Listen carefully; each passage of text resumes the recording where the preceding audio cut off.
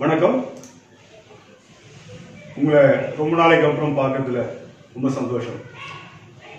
பத்து நாளா நடந்துகிட்டு இருந்த ரொம்ப நீண்ட டிராமா பாஜகவோட மத்திய அரசோட நீண்ட டிராமா முடிவுக்கு வந்தது.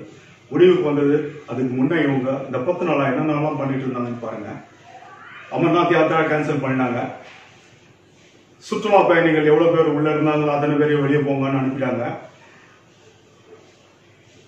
அரசியல் தலைவர்கள் எல்லாரையும் வந்துட்டு சிறைப்பிடிச்சிட்டாங்க.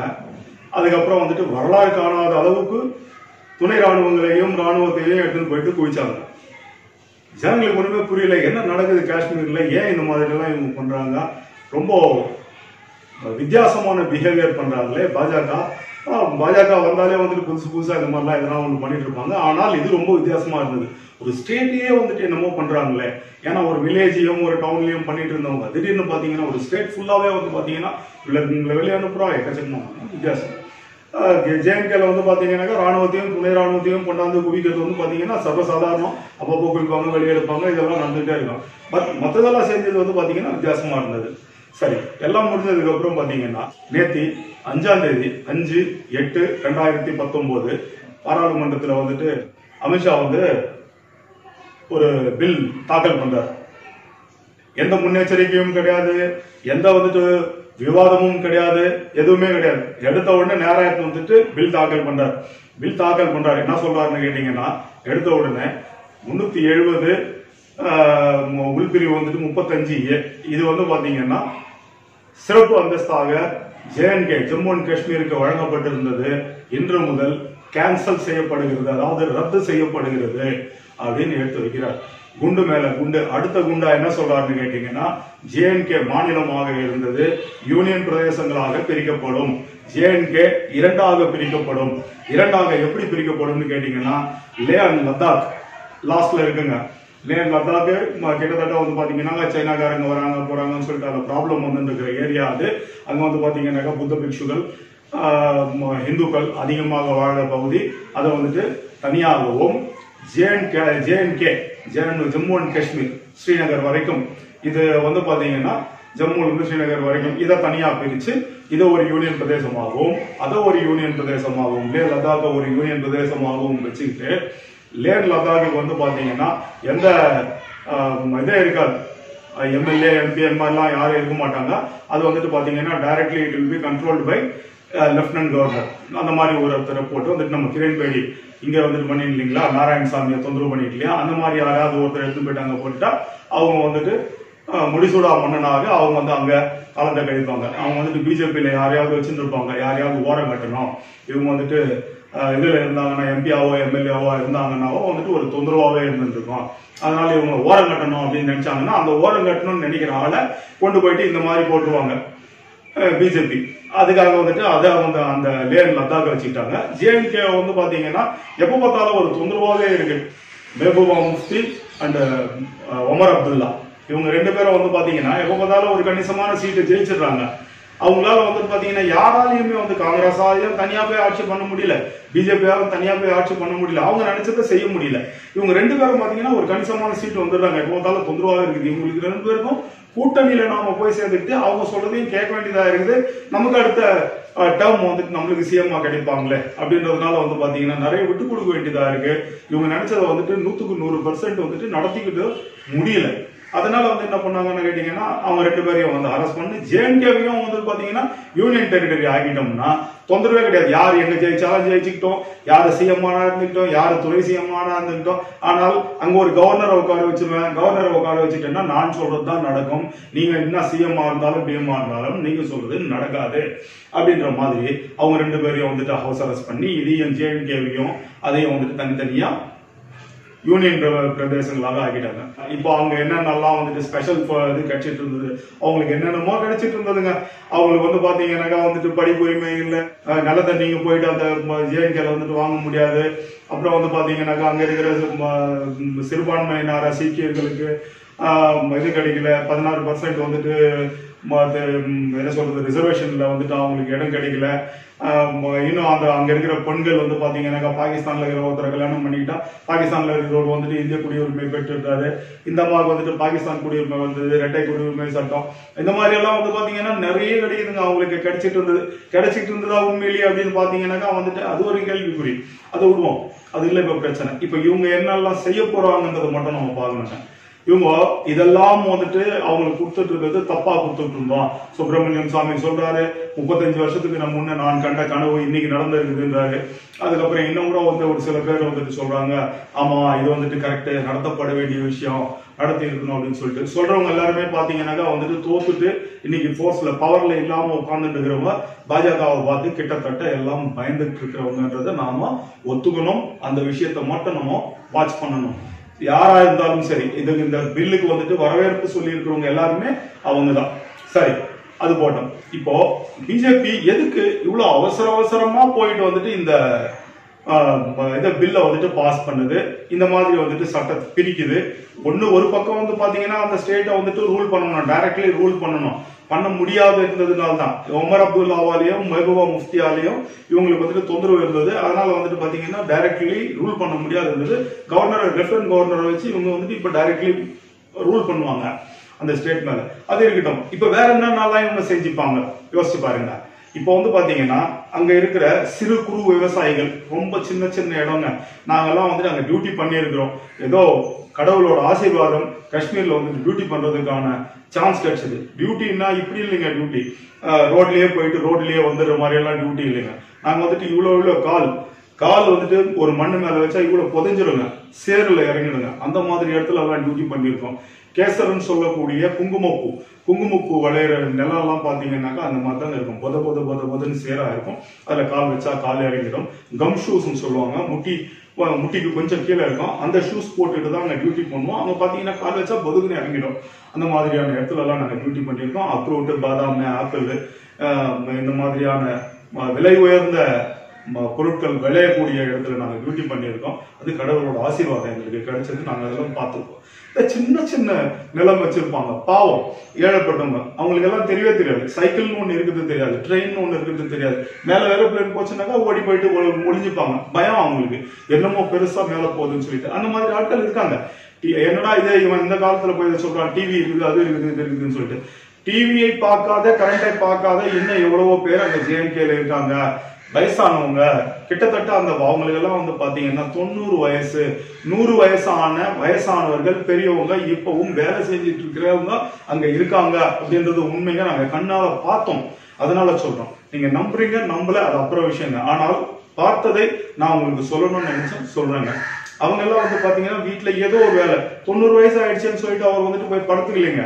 எவ்வளவு வயசானாலும் சாகிற வரைக்கும் உழைக்கிற ஒரு காலை மாதிரி அங்க இருக்கிற ஒரு வயசான பெரியவர் ஒரு சின்ன கூடை மாதிரி ஒன்று எடுத்துட்டு அங்க இருக்கிற அந்த பூ குங்குமப்பூ ஒரு ஒரு பூவா ஒரு ஒரு இதழா வந்துட்டு சேர்த்து வச்சாதாங்க குங்குமப்பூ வந்து பாத்தீங்கன்னா ஒரு ஒரு ரூபாய் வெயிட் அன்னைக்கு காலத்துல வந்து பாத்தீங்கன்னா நாங்க அங்க டியூட்டி பண்ணும்போது ஒரு ரூபாய் ஒரு பக்கம் வைப்பாங்க அவங்களுக்கு வெயிட் எல்லாம் தெரியாதுங்க.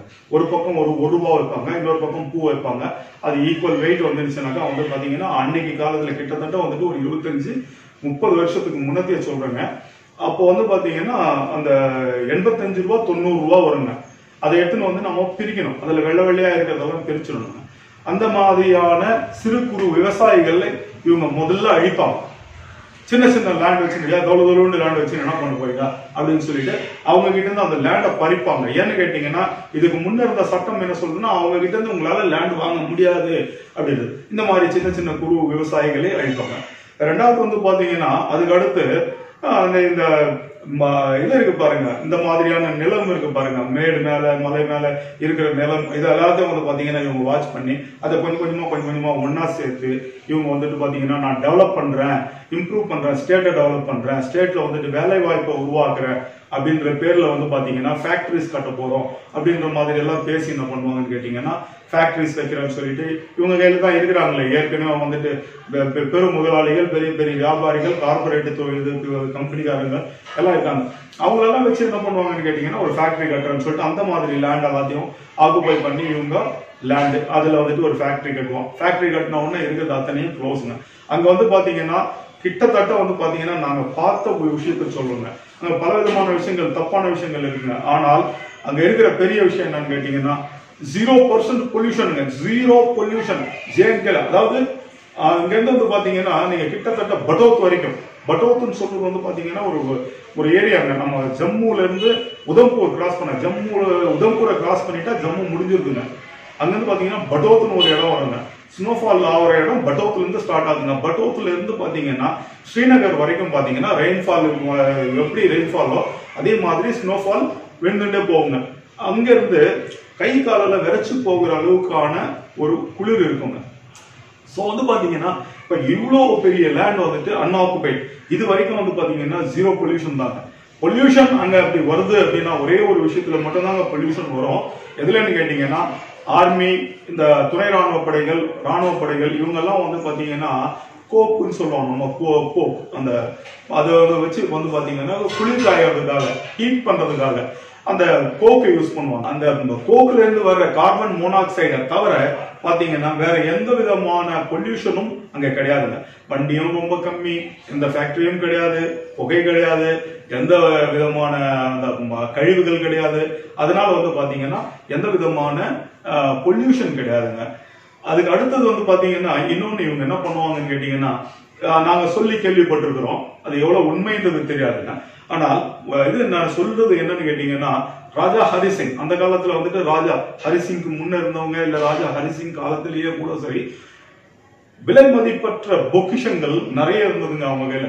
ஆங்கிலேயர்கள் நம்ம கிட்ட இருந்து எங்க பிடிங்கிட்டு போயிடுவாங்க? திருடிட்டு போயிடுவாங்க. நம்ம கிட்ட இருந்து அபகரிச்சுப்பாங்க அப்படின்னு சொல்லிட்டு அவங்க என்ன பண்ணினாங்கன்னு கேட்டீங்கன்னாக்கா மலையெல்லாம் வந்துட்டு குடைஞ்சு அதை பதுக்கி வச்சாங்க. நம்ம கிட்ட இந்த திருடு போயிடக்கூடாதுன்றதுக்காக அதெல்லாம் பதுக்கி வச்சாங்க. அந்த பதுக்கி வச்ச பொருளை திரும்ப எடுக்கவே இல்லை. அவங்க திரும்ப எடுக்கல அதை பதுக்கி வச்சது பதுக்கி வச்சதாகவே இருக்கு. அதை வந்து பாத்தீங்கன்னா இவங்க தேடுறதுக்கு ஆரம்பிக்கலாம் அப்படின்றது ஒரு யுகங்க. இது அதை தேட ஆரம்பிக்கலாம். அந்த பொக்கிஷன்களை தேட ஆரம்பிக்கலாம். பாத்தீங்கன்னா சமீப காலமா இப்ப சமீபத்துல பாத்தீங்கன்னா கேரளாவில் பத்மநாப சுவாமி கோவில்ல வந்து பாத்தீங்கன்னா யாருக்கும் தெரியாது என்னென்ன நகை இருந்ததுன்னு. அந்த நகையெல்லாம் பாத்தீங்கன்னா அதுக்கப்புறம் அவங்க எடுக்கும்போது எடுக்க எடுக்க வந்துட்டே இருந்ததுங்க. அந்த மாதிரி அவங்கேயும் வந்து பாத்தீங்கன்னா பல விதமான பொக்கிஷங்கள் அங்க பதுக்கப்பட்டு இருக்கிறதாகவும் அதை தேட இவங்க ஆரம்பிப்பாங்க. இது ஒண்ணுங்க. இதுக்கப்புறம் வந்து பாத்தீங்கன்னா ஃபேக்டரின்னு சொல்லிட்டு ஃபேக்டரி வைக்கிறேன் அது வைக்கிறேன் இது வைக்கிறேன்னு சொல்லிட்டு பாத்தீங்கன்னா எப்படி தமிழ்நாட்டில் வந்து பாத்தீங்கன்னா மலைகளை குடைந்து இயற்கை வளங்களை வந்துட்டு அழிச்சாங்களோ அதே மாதிரி அங்கேயும் வந்து பாத்தீங்கன்னா தாது மணல் இயற்கை வளங்கள் மற்றும் வித- விதவிதமான ம- இயற்கை வளங்கள். இயற்கை வளங்கள்னா கருங்கல்லும் இயற்கை வளம் தான் தாது மணலும் வந்துட்டு இயற்கை வளம் தான் நீரும் இயற்கை வளம் தான் இன்னும் வந்து பாத்தீங்கன்னா இப்ப இவங்க எடுக்கணும் எடுக்கணும்னு சொல்லிட்டு கங்கணம் கட்டி சுத்தி இருக்கிறாங்களே ஹைட்ரோ கார்பன் மீத்தேன் ஈத்தேன் இந்த மாதிரியான விஷயங்கள் இதெல்லாமும் வந்து பாத்தீங்கன்னா இயற்கை வளம் தான் இந்த மாதிரியான இயற்கை வளங்களை வந்துட்டு இவங்க அங்க கொள்ளடிக்கிறதுக்கு ஆரம்பிப்பாங்க. காரணம் என்னன்னு கேட்டீங்கன்னா அங்க வந்து பாத்தீங்கன்னா காடுங்க. நிறைய காட்டுல வந்து பாத்தீங்கன்னா மரம்னா வந்துட்டு அப்படி அருமையான மரம். சால்னு சொல்லக்கூடிய பெரிய பெரிய நீளமா உயரமா நீட்டா வளரக்கூடிய மரம் அந்த மரங்க. அதுக்கப்புறம் வந்துட்டு மலைகளை குடையலாம் மலைகளை வந்துட்டு அழிக்கலாம். கீழே வந்துட்டு தண்ணி வந்துட்டு காஷ்மீருக்கு காஷ்மீர் வழியாக இது போது பாகிஸ்தான் போது அந்த தண்ணியில வந்துட்டு அதாவது அந்த தண்ணி யூஸ் பண்ணலாம். அதுக்கு வெளியே விடாம. மக்களுக்கு கூட கிடைக்காம போகலாம் நாளைக்கு. இந்த மாதிரி எல்லாம் பண்ணலாங்க. இந்த மாதிரி எல்லாம் பண்றதுக்காக தான் வந்துட்டு பாத்தீங்கன்னா இவங்க இவ்வளவு அவசரப்படுறாங்க. நாளைக்கு என்ன நடக்குமோ இன்னைக்கே முடிங்க நாளைக்குன்றது அப்புறம் பாத்துக்கலாம். இன்னைக்கு முடி நாளைக்குன்றதை இன்னைக்கே முடிச்சிருங்க முதல்ல வேலையை. அப்படின்னு சொல்லிட்டு அவசர அவசரமா வேலை செஞ்சுட்டு இருக்கிறாங்க. நேத்தி வந்து அமித்ஷா குண்டு மேல குண்டு போட்டு இருக்காரு எதிர்கட்சிகளான திரிணாமுல் காங்கிரஸ் ஒரு பக்கம் திமுக ஒரு பக்கம் காங்கிரஸ் ஒரு பக்கம் இன்னும் வந்து பாத்தீங்கன்னா இருக்கிற விடுதலை சிறுத்தைகள் அவங்க எல்லாரும் பாத்தீங்கன்னா ஓன்னு சத்தம் போட்டுருக்காங்க. எதிர்குரல் இல்ல. நீங்க டிஸ்கஸ் பண்ணுங்க. இது மேல நீங்க இது மேல வந்துட்டு டிபேட் நடத்துங்க. அதுக்கப்புறமா வந்து பார்க்கலாம். அதுக்கப்புறம் பில் பாஸ் பண்றதை பார்க்கலாம். பில் பாஸ் பண்றதுன்னு ஆயிடுச்சு. நீங்க டிபேட் நடத்துங்க அப்படி கிடையவே கிடையாது. அமித்ஷாவோ இல்ல மோதியோ நீங்க பாத்தீங்கன்னா தெரியும் அவங்க வந்து பே- அவங்க பேசுறதெல்லாம் வந்துட்டு கேட்கறது கூட ரெடி இல்ல. அவங்க வந்து பாத்தீங்கன்னா நிறுத்தவே இல்லைங்க. அவங்க பாருங்க அவங்களோட முகத்தை கூட பாருங்க. அவங்க வந்து கொஞ்சம் ஒரு கேர்லெஸ் ஒருத்தர் கேட்கிறாரு அவருக்கு வந்துட்டு கேர்லெஸ்ஸான ஒரு பதில். அவர் கேட்கிறாரு கேர்லெஸ்ஸான ஒரு பார்வை. அப்படி பார்த்துட்டு வந்துட்டு பி சிதம்பரம் கேட்கிறாரு நீங்க வந்துட்டு த்ரீ செவன்டி எடுக்கிறீங்க ரைட் ஓகே ஆனா வந்துட்டு ஸ்டேட் எதுக்கு உடைக்கிறீங்கன்னு கேட்கிறாரு அது வந்து பாத்தீங்கன்னா இல்ல இல்ல உங்களுக்கு தெரியாது. நாங்க வந்துட்டு பண்ணணும்னு நினைச்சிருக்கோம். இது வந்து எங்க இது- இது இருக்குது. தேர்தல் அறிக்கையில இருக்கு அப்படின்னு சொல்லிட்டு அவர் பாட்டு போயிட்டே இருக்காரு. இது நம்ம திருச்சி சிவா கேட்கிறாரு அதுக்கு பதில் இல்லை. வைகோ சத்தம் போடுறாரு. வைகோவுக்கு வந்துட்டு பாத்தீங்கன்னா என்ன சொல்றாரு? வைகோ வந்துட்டு சாதாரணமாவே வைகோ தெரியும் நமக்கு. அவர் அப்புறம் வந்துட்டு சிரிக்கிறார் வைகோ ஒரு பக்கம். இந்த மாதிரி எல்லாம் குலாம் நவ்ஜி அப்புறம் ஆசாத் அப்புறம் சப்பன் தாஸ் இவங்க எல்லாரும் வந்து பாத்தீங்கன்னா கேட்டு கேட்டு வந்துட்டு குளிச்சு போயிட்டாங்க. இவங்க யாரும் கேரே பண்ணல. ஜஸ்ட் அந்த பில் பாஸ் பண்ணணும். வெங்கையா நாயுடு ஐயா ஹானரபிள் வெங்கையா நாயுடு அவர்கள் கிட்ட போச்சு. வெங்கையா நாயுடு சொல்றாரு எனக்கு வந்துட்டு இன்னும் நிறைய வேலை இருக்கு. உங்ககிட்ட நான் பேசுறதுக்கு டைம் இல்லை. ஐயா நீங்க அங்க உட்கார்ந்துட்டு இருக்கிறதே அவங்க கிட்ட பேசுறதுக்காக தாங்க அவங்க எல்லாம் வந்துட்டு சாதாரண உங்க கூலிகாரங்க கிடையாதுங்க அவங்க வந்து எங்களோட ரெப்ரசன்டேட்டிவ் இந்த ரெப்ரசன்டர்ஸ் நாங்க எங்களுக்காக வேலை செய்யறதுக்காக அவங்கள வந்துட்டு எலெக்ட் பண்ணி அங்க அனுப்பியிருக்கோம் ஐயா. அவங்க வந்துட்டு உங்களை வந்து எங்களுக்காக உங்ககிட்ட பேசுறதுக்கு வந்திருக்காங்க. நீங்க சொல்றீங்க இல்ல உங்ககிட்ட பேசுறதுக்கு எனக்கு டைம் இல்லை எனக்கு நிறைய வேலை இருக்கு அப்படின்றீங்க. அப்படி என்னங்கய்யா வேலை உங்களுக்கு ஸ்ரீநகர்ல போய் இருக்கிற இளைஞர்கள் பாத்தீங்கன்னா பாதி பேருக்கு மேலங்க ரொம்ப கஷ்டமான சூழ்நிலை. சொன்னாலும் வந்துட்டு ஒத்துக்கவும் முடியாது யாரும் கேட்டுக்கவும் மாட்டாங்க. அந்த மாதிரியான ஒரு சூழ்நிலைங்க. என்னன்னு கேட்டீங்கன்னா மூளை செலவை பாகிஸ்தான்ல இருந்து வர தீவிரவாதிகள் பயமுறுத்தி அச்சுறுத்தி இதை செய்யலைன்னாக்கா நான் உன்னை அடிப்பேன் திட்டுவேன் கொல்லிடுவேன் கொன்னுடுவேன். உங்க- உங்க வீட்டுல இருக்கிறவங்களை கொன்றுவேன். உங்க வீட்டுல இருக்கிறவங்களை தப்பா பண்ணிடுவான் அது பண்ணிடுவேன். மிரட்டி பயமுறுத்தி அவங்க ஒரு பக்கம் வந்துட்டு அவங்கள தொந்தரவு பண்ணி மூளை செலவு பண்ணி என்னென்னமோ பண்ண வச்சு அவங்கள தப்பா பண்ணி போலீஸ்ல கேஸ் ஆகிட்டு அவங்க கேஸ் பின்னால சுத்திட்டு இருக்கிறாங்க பாவம் ஸ்ரீநகரோட இளைஞர்கள். பாத்தீங்கன்னா எந்த டைம்ல யார போய் எப்ப எழுப்பி கூட்டிட்டு வராங்க? நீ வந்துட்டு அந்த பலான கேஸ்ல ரிலேட் ஆயிருக்கிற அப்படின்னு சொல்லிட்டு உண்மையா கூட இருக்கலாம் உண்மை இல்லாமல் கூட இருக்கலாம் ஆனா அதுக்கு இது வழி இல்லைங்க. ராத்திரி பன்னெண்டு மணி ஒரு மணிக்கு போயிட்டு வீட்டுல அவனை அடிச்சு கூட்டிட்டு தூக்கிட்டு வர்றது அது மாதிரி எல்லாம் செய்வாங்க. இல்லைனாக்கா வந்துட்டு இந்த டைம்ல தான் அவனை பிடிக்க முடியும். இல்லைன்னா அவனை பிடிக்க முடியாது. அவன் பகல்ல போயிடுவான் அவனை தேட முடியாது அப்படின்னு சொல்லிட்டு தேடாததுக்கு எதுங்க இருக்கிறீங்க? தேடுறதுக்காக தாங்க நாம இருக்கிறோம். மத்தவங்களுக்கு ஒரு ஆளை பிடிக்கிறதுக்காக பத்து பேரை தொந்தரவு பண்ணக்கூடாதுன்றது வந்துட்டு சட்டம் இருக்குங்க. ஆனா அந்த சட்டத்தை யாரும் மதிக்கிறது கிடையாது. போலீஸும் மதிக்கிறது இல்லை ராணுவமும் மதிக்கிறது இல்லை அரசியல்வாதிகளும் மதிக்கிறது இல்லை அப்புறம் தீவிரவாதி மட்டும் மதிப்பானா? பாகிஸ்தான்ல வந்து வர தீவிரவாதியை மதிப்பான் அந்த சட்டத்தை. நீங்களே மதிக்கிறது இல்லைன்னு போது அவனும் மதிக்கிறது இல்லை இதுதாங்க உண்மை. இதுக்கப்புறம் வந்து பாத்தீங்கன்னா அந்த இளைஞர்களுக்கும் வந்துட்டு அந்த இளைஞர்களுக்கு வேலை கொடுக்க போறேன் வேலை கொடுக்க போறேன்னு சொல்லிட்டு நீங்க என்ன பண்ண போறீங்க? இங்க எவ்வளவு பேருக்கு வேலையை கொடுத்தீங்க? அந்த மாதிரி தான் அவங்களுக்கும் கொடுக்க போறீங்க. எங்கேயோ ஒரு இஸ்லாமியரை பாத்தீங்கன்னாலே நீங்க வந்துட்டு துடி துடிப்பீங்க அடிக்கிறதுக்கும் வெட்டுறதுக்கும் அங்க வந்து பாத்தீங்கன்னாக்கா வந்துட்டு அதிகப்படியான வந்துட்டு இஸ்லாமியர்கள் தானுங்க. அது இல்லாம அவங்க சாப்பிடுற மெயின் ஃபுட்டே வந்து பாத்தீங்கன்னா உணவே உணவுவே வந்து பார்த்தீங்கன்னா அவங்க பீஃப் தாங்க சாப்பிடுவாங்க.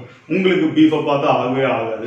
இப்போ அவங்கள போய் எப்படியெல்லாம் நீங்கள் வந்துட்டு தொந்தரவு கொடுக்க போறீங்க? எப்படியெல்லாம் வந்துட்டு அவங்கள காப்பாற்ற போறீங்க? காப்பாத்துறேன் காப்பாத்துறேன்னு கங்கணம் ஆனால் நீங்கள் காப்பாற்ற போறீங்களா?